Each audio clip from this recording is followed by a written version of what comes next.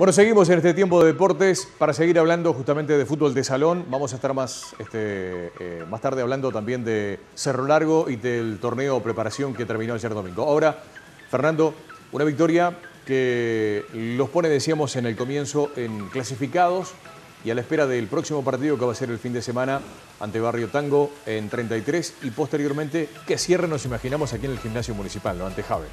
Sí, sí. Eh, pero como te dije, no me aparto de lo que, lo que va a pasar el fin de semana. Recién. Vamos por parte. Vamos por parte, pasito a paso. Eh, hablamos de que cada partido va a ser una final para nosotros, como lo han sido.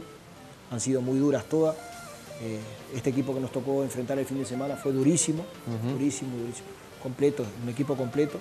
Pero también contra los equipos de 33 fue muy duro también y contra Peñarol en la primera fecha también, que era el debut, también fue un partido duro. Así que sabemos que no va a haber nada fácil ojalá que contra, eh, contra Jave llenemos el gimnasio, que, es lo que todos queremos. ¿Cómo viene el tema de, las nuevas reglas que ya se implantaron en este campeonato actual? Sí, a nosotros como, como que la, nueva regla un poquito nos perjudicó por el tema del golero, pero creo que nos hemos adaptado bastante bien. Eh, el golero nuestro ha seguido convirtiendo en todos, los, en todos los encuentros, que era muy importante para nosotros. Tal vez no tenga la cantidad de juego que tenía antes, porque es un golero que maneja muy bien los pies, pero tranquilo, tranquilo, que las reglas son para todos de la misma forma, entonces claro. hay que adaptarse. Bueno, vamos a ir viendo las imágenes del primer tiempo en un gimnasio que fue tomando color de a poco. Este, yo no estuve en, Melo este fin de semana, estuve en el partido de Cerro Largo y bueno, sí estuve escuchando a los colegas de, La Bruja, ¿no? que estaban allí con, con la emisión. Ellos, felicitarles a ellos porque siguen la campaña de INVE este 74 en este campeonato uruguayo. Allí está el Guille Smith, que bueno, tiene esa doble función, ¿no? De jugar al fútbol de salón y también jugar en el Nacional. Tuvo el sábado de la noche allí y el domingo jugando por el tercer y cuarto puesto ante, ante Artigas. Tenés un equipo en el cual tenés la experiencia de Guillermo Smith, tenés a, a Enrique Binagui, después a los brasileños. Contame un poco del plantel actual que tenés Vos me dices un poco también fuera de cámaras, un plantel incluso mejorado al del año pasado. Sí, yo creo que lo mejoramos eh, un poco. Sumamos a Andrés Pereira también, de, que juega en la Paloma de Rocha, que es un jugador que está jugando en, AUF también, en, Rocha Fútbol, Fútbol Entonces, eh, hemos, hemos traído a Agustín Méndez también este año, que el año pasado no pudo estar, también que, es un muchacho joven, que, que recién está comenzando y, y está sumando mucho también para el equipo. Y después tenemos los, jugadores de siempre. Eh, como te decía, digo, lo más importante es que ellos están muy unidos, muy unidos, dentro y fuera de la cancha. Eh, es un equipo que, por suerte me ha tocado dirigir junto con el Yaya y no hemos tenido problemas de conducta de ningún tipo. Es importante. Y eso, y eso nos deja muy contentos. Claro. Eh, a veces decimos los resultados acompañan y eso, eso es bueno pero, pero creo que desde lo grupal el equipo está, está muy unido y creo que esas cosas son muy importantes en, los momentos decisivos a veces de los campeonatos. Allí estamos viendo las imágenes que pudo captar nuestro compañero Jefferson Ribeiro. Vos decías de algunos jugadores que vienen al equipo. Y claro, se abre la puerta, es decir, le invitan a venir a Inve. Inve es el último campeón.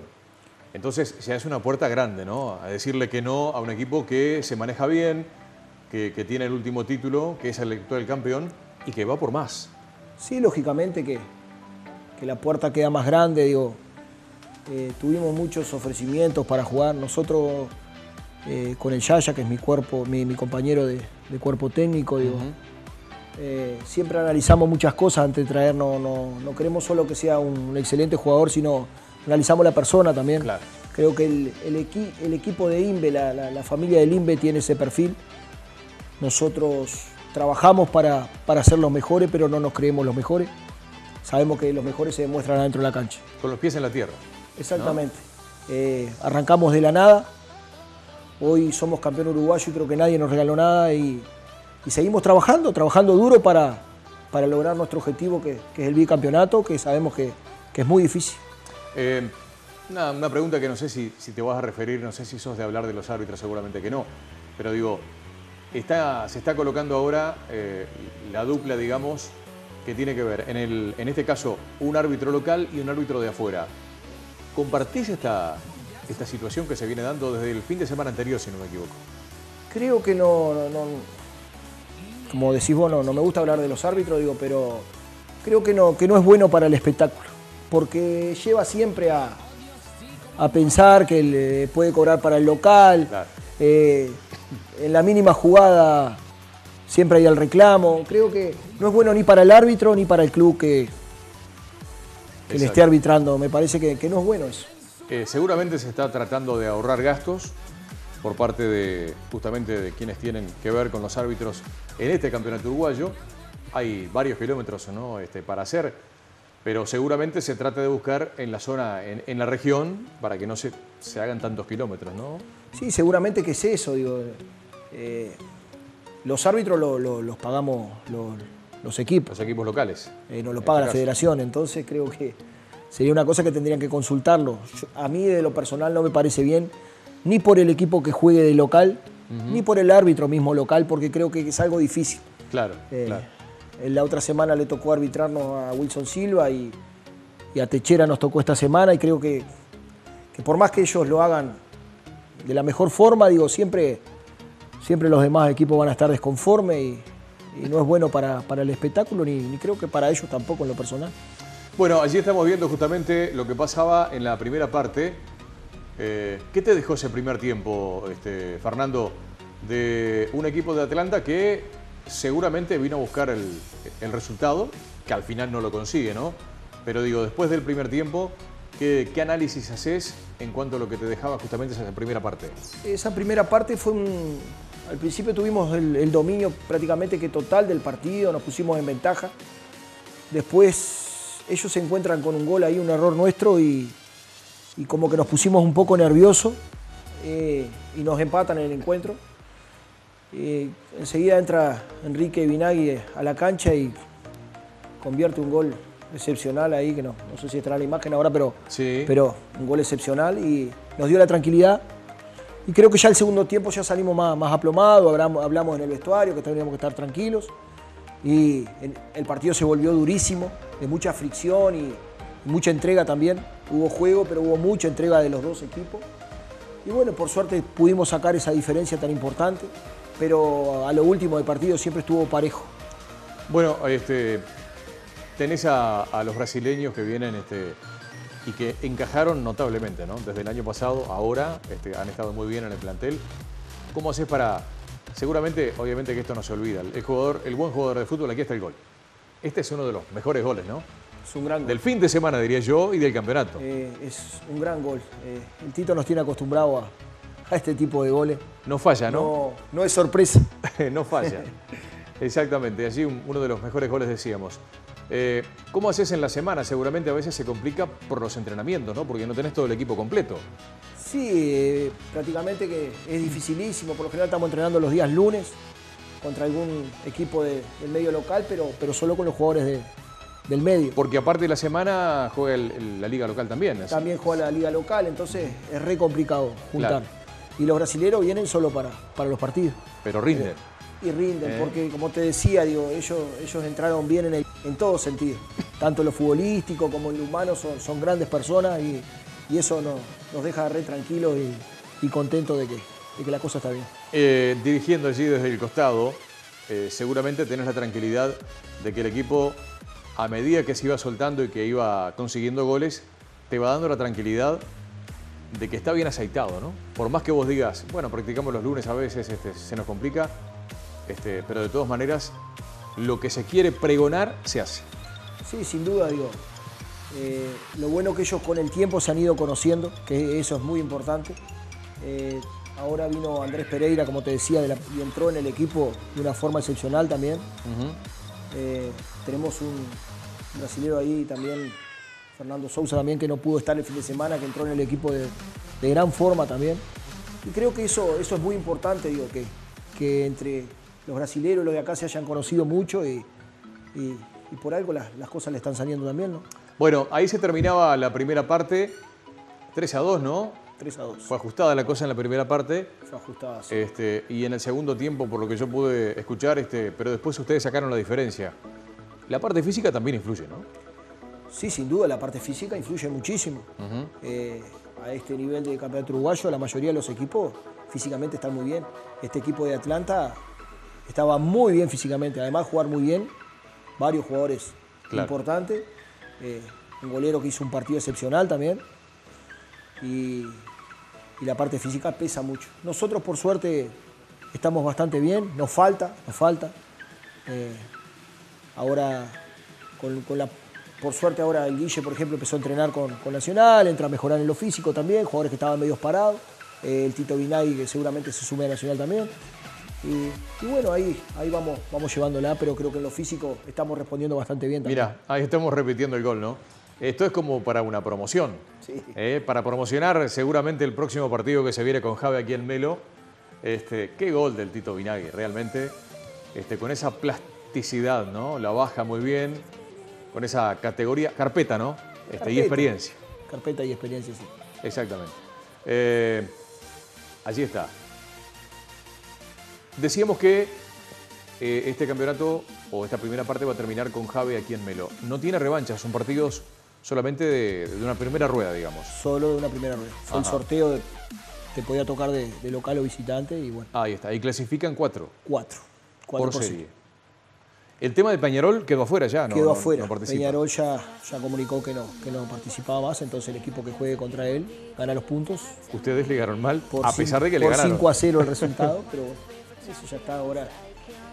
Eso es algo que no. Ah, digo, ligaron mal no, porque ustedes demostraron, jugaron todos los partidos y le ganaron a un Peñarol que venía, este, se decía que era un equipo, un gran equipo, este, que tenía algunos jugadores eh, que venían del sur también, de Montevideo. Sin embargo, ustedes de acá le ganaron y le ganaron bien. Sí, le ganamos bien, digo, no sé qué fue que pasó con Peñarol, la verdad que no. No sé qué pasó. Tuvo, el segundo partido tuvo problemas porque no presentó la seguridad y al tercer partido se, se bajaron. Entonces, bueno, eh, y esto, este, el partido al que le toque jugar con Peñarol es un 5 a 0 y los puntos. 5 a 0 y los puntos. Bueno, perfecto. Así que los equipos que enfrenten a Peñarol ya tienen los puntos ganados, mientras que este, los que ya jugaron, como en el caso de Imbe, tienen que seguir sumando. Vamos a ver la segunda parte, el segundo tiempo de ese encuentro, donde allí sacó la diferencia al final del encuentro este, hubo un sorteo previo en el, en el entretiempo, este, Fernando. Sí, entregamos, entregamos la moto de la rifa que, ya agradecemos a toda la gente que colaboró, que era muy importante para nosotros y bueno, entregamos la, la moto, aprovechamos y entregamos la moto en el partido. Eso es importante, recursos, ¿no? Recursos económicos para, para poder afrontar el campeonato. Sí, la verdad que sí, precisamos mucho, vamos a molestar mucho de aquí a, a, fin de año a la gente. Eso eso es inevitable. Eh, agradecido a, la Intendencia que, nos, ha colaborado con la conducción, que, es muy importante, porque si tuviéramos que pagar la conducción para el Campeonato Uruguayo también sería muy difícil. Claro. Y ellos siempre han estado, entonces agradecer también al deporte, al apoyo al deporte que han tenido en, ese sentido también. Y bueno, acá seguiremos luchando para, para seguir juntando dinero, que es lo que precisamos, porque se nos viene el Campeonato Sudamericano también, que va a ser bueno, parece que el ganador estaba allí mismo, ¿no? Mirando el partido. Vamos al segundo tiempo. ¿Cómo te imaginabas justamente la segunda parte, Fernando? De un partido que ustedes estaban ganando por un gol de ventaja. Y que iba a ser un segundo tiempo más duro que el primero, porque ellos iban a salir a buscar, no iban a regalar nada. Eh, cuando terminó el primer tiempo ya se veía que, que ellos se adelantaban en la cancha, ya no iban a empezar a apretar. Y fue lo que pasó. Salieron a presionarnos, a presionarnos, pero por suerte los muchachos aguantaron bien la presión y, pudimos sacar algún gol de diferencia. Y, bueno, como te dije, la, el goleo de ellos fue figura también, sacó pelotas increíbles. Pero bueno, tranquilo que, lo hicimos bien. Esto eh, seguramente es como en cualquier campo de juego de fútbol 11, ¿no? Si el campo de juego o el rectángulo está en mejores condiciones, se hace más fácil todo. Sí, lógicamente. El, el gimnasio en este momento luce en forma espléndida. Digo, los muchachos entran a la cancha y dicen, mirá qué linda que Sí, sí, sí, porque he visto algunos gimnasios, por ejemplo, en 33, ¿no? que son chicos y que no están en las mejores condiciones. Sí, el otro día nos tocó jugar la semana pasada con, sin luz en uno de, los arcos. Vi, vi imágenes, sí. Y bueno, pero hay que adaptarse a todo lo que, a lo que te toque. Hay que jugar y ganar en todas las canchas. La cancha yo siempre digo está igual para los dos. Exacto. Y, bueno, hay que demostrar. Porque a ver, a veces eh, es como Nacional y Peñarol, tienen este, supremacía económica por sobre los clubes chicos, pero adentro del campo de juego se ven los, los pingos, 11 contra 11 y, Exacto, y acá también es lo mismo. Este, y, bueno, Inve viene paso a paso, como lo decía Fernando, este, sumando en la tabla de arriba. Eh, en, esta, en esta serie siempre uno queda libre. siempre uno queda libre. ¿Y ahora con Peñarol? En las dos series. Y ahora con Peñarol eh, se juegan eh, tres partidos según si el- cuando quede libre Peñarol. es- en ese va a haber tres partidos, si no dos. Tres o dos partidos. Claro. Ahí está. Eh, una vez que termine esta primera rueda, digamos, ya se pasa a la segunda con ocho equipos. con ocho equipos. Donde va a jugar. Ahí no es que se cruza esta serie con la otra. Se miran los, los mayores puntajes. El, el mayor puntaje de los ocho juega contra el, me- el menor puntaje de los. Ahí los está. ocho. Ahí está. eh, se va cruzando así. Te puede tocar con. A nosotros nos puede tocar, por ejemplo, si salimos segundo o primero en la tabla general, eh, tocarnos con uno de la misma llave de nosotros. De la misma llave, ahí está. Eh, eso habrá que ver entonces, una vez que termina ya por el, el comienzos de- del mes de agosto, ¿no? Seguro. Cuando se termine la primera rueda, Ahí se verá. ahí va a haber que echar mano, obviamente, a, a los números, a ver cómo queda justamente la tabla para un lado, o sea, para el grupo A y también para el grupo B. De este campeonato uruguayo, del cual este, el actual campeón está arriba en la tabla, conjuntamente con Atlanta. Ahora lo supera Atlanta en las posiciones. Javi jugó este fin de semana, Javé eh, ganó los puntos. ganó los puntos. Le tocaba con Peñarol. O sea que ustedes están arriba con, con Jave y el fin de semana tienen que ir a 33, como decíamos. Después en la última, seguramente para definir el primer puesto. Y seguramente que sí, para definir la primera, la primera posición del, del- del- de, la, de la llave. De la llave, ¿no? Igual como te repito, hay que jugar Hay que jugar los 33 partidos. y hay que ganar en 33. Está bien, está bien. Bueno, eh, seguimos en las imágenes.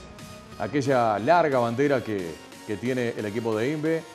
Este, y yo sigo recordando y me quedan en las retinas, ¿no? Aquella final ante Astemios. Hacía mucho tiempo que no se veía el gimnasio tan lleno. Este, y ustedes no desaprovecharon esa oportunidad eh, y le regalaron realmente un gran triunfo y un gran título a la gente que fue y acompañó. Sí, creo que ese día memorable para todo. El gimnasio lució de una forma que yo hacía mucho tiempo que no lo veía, repleto. Y, y el Yaya se encargó con sus banderas de darle todo el color. Y, Bueno, es por ello que ustedes siguen jugando, siguen ganando y es que piden obviamente que la gente siga acompañando, ¿no? sí, lógicamente, como te decía, digo, el jugador número 13 es la, es la gente. digo. Exacto. Es importantísimo para nosotros el aliento. Mirá que a veces vas por ahí y son 10 personas gritando y se hacen sentir y, y baja la tribuna eso. y- Sí, yo me acuerdo cuando vinieron los astemios acá a jugar, este, que eran poquitos, pero gritaban. Pero gritaban, como gritaban. Bastante, ¿eh? la, la gente de acá del pueblo siempre le cuesta un poquito Sí. más meterse en clima. Sí, Después que la gente se hizo sentir, Se terminó. como que se terminó en la parte de Astem. Está bien. Allí está Guille Smith, convirtiendo también. Talento, ¿no? Si los hay de, de Guille, para jugar este, no solo en fútbol cancha, sino que en fútbol de salón también. Este, y bueno, eso le permite jugar en, en los dos. Vos decías que ahora se pone, o se va a poner mejor en la parte física porque vuelve a, a Nacional. Este, erró uno, uno de los penales, ¿no? Erró uno Convirtió de otro. los libres. De los libres, de, los libres. Ahí está. Pero el Guille es un, es un jugador que, que sabes que siempre Tenés allí. da al máximo. Le puede salir derecha. todo, no salirle nada, digo, pero él, él siempre da al máximo. Es, es uno de los líderes que tenemos dentro del vestuario. digo, es muy importante para los compañeros y para el equipo. Exacto.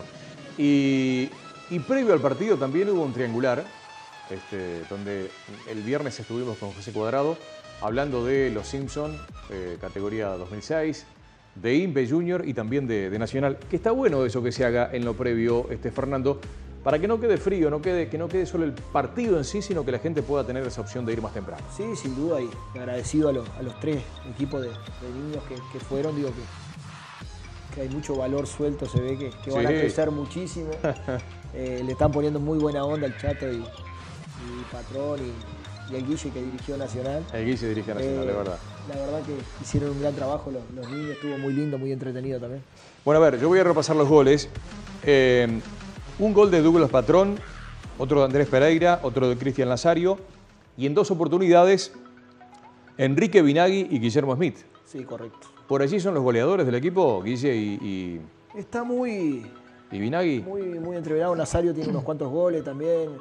Eh, sí, creo que sí, por ahí sí. Anda el Guille y, y Andrés Pereira también tiene unos cuantos goles. Está muy parejo, no, no tenemos grandes goleadores en el equipo en este momento. Recordanos un poco el, el quinteto que arrancó el partido. El quinteto fue con Douglas Patrón, eh, Andrés Pereira, Adriano Rachel, Guillermo Smith, Cristian Nazario. Ahí está. Por allí comenzó. Después hiciste algún retoque, ¿no? Algún cambio. Y después entró el Tito por, por, por Nazario y, y después no se movió más el equipo. Fue un partido difícil, estaba muy difícil para mover el equipo. Eh, eso es una cosa que, que me cuesta mucho después de los partidos. Vos sabés que Rodrigo hoy le preguntaba justamente a Tito. Son dice, de las si cosas que más me duele plantel, después. ¿Qué pasaba? Sin embargo, yo creo que pasó también en el partido eh, allá cuando jugaste la final en la ida. Sí, No también. hiciste mucho cambio tampoco. Porque un- no había que mover mucho seguramente. ¿Qué pasa? A veces son partidos con mucha dinámica. Sí. Y el tema es traer a un jugador medio frío del, del banco Sí. y que cueste, viste que, le- Que es mucha concentración, mucha marca, a veces en ese tipo de partido cuando hay demasiada dinámica, mu- mucha velocidad. Claro. Y a veces en un ahogo puedes perder una marca o algo y puede, puede ser un gol en contra. Exacto. Entonces a veces cuesta un montón. ¿Qué fue lo que pasó este fin de semana?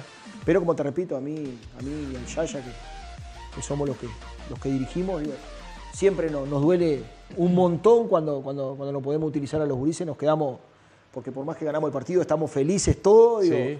eh, siempre es el traguito amargo de, de que todos no puedan jugar porque sabemos que todos, que Pero- todos tienen lo suyo. Pero aparte, este, todos ponen el, el alma y el corazón, ¿no? Yo recuerdo aquellos partidos que jugaba el año pasado a Vinagui salir, terminar del partido de jugar con Nacional, subir a la camioneta y viajar kilómetros para ir a jugar el partido. Fueron cosas que nos hicieron muy fuerte el año pasado. Exacto. Eh, hubo un partido contra, contra Independiente de Rocha también, que me quedé esperando con Andrés Morales que terminara el partido de la A, que jugaba el Guille y el Tito. Y nos sí. fuimos volando, que no sabíamos ni si íbamos a llegar al partido. eh, pero hicimos el esfuerzo. Eso llegaron tiene su recompensa, ¿no? Y corrieron los 90 minutos en el barro, todavía una cancha embarrada, ya en la cancha de Sauce, y llegaron y dieron el máximo y clasificamos. Y creo que son las cosas que, que suman un montón para, para lograr las cosas. Bueno, vamos a ver un poco en la placa que viene resultados y posiciones que va dejando este campeonato uruguayo de futsal. Allí está en el grupo A, donde está el liderado por Inve 74 junto al, club Jave, 8 puntos para cada uno. Después Atlanta Junior, que perdió con Inve, tiene 6, 3 para Barrio Tango, el próximo rival de Inve, 3 para Chali, 2 para Resilia y Peñarol, que ya está fuera de concurso sin unidades. El próximo rival, como decíamos, será este Barrio Tango. En, la, en el grupo B está primero Alianza, 8, Actemios tiene 6, 4 para Solís y el Deportivo Las Vías de Florida, también San Isidro, De Pando, 2 para Artigas, De Pando y también De Pando La Amistad. Allí, por allí están entonces los, las posiciones de estos grupos en resultados que se registraron este fin de semana. En el grupo A, Chali derrotó 7 a 3 a Resilia. Lo dicho, aquí en Melo, Inve 74, 7 a 4 Atlanta Juniors, mientras que en el grupo B, Aptemios derrotó ajustadamente a la Amistad 3 a 2. El equipo de Deportivo Las Vías 8 a 5 le ganó a Solís, mientras que Artigas cayó ante San Isidro por 12 a 8. ¿Sabes algo de las vías, Deportivo Las Vías de Florida, que se, se integra a este campeonato, no? Sí, un, un equipo nuevo, pero no, no, no tenemos datos ninguno sobre ellos. Poca cosa. Poca cosa nada más. Más Bien. de lo que vemos en Alguna comunicación y eso, pero más nada que eso. Está bien. Bueno, del fútbol de salón vamos a parar por acá, este, pero le vamos a pedir a Fernando que se quede un poquito porque vamos a hablar algo del fútbol local y también del Cerro Largo, que nos acompaña hasta el final, que ya queda justamente después de la pausa, la recta final de este tiempo de deportes aquí en Señal 26 de Cableo.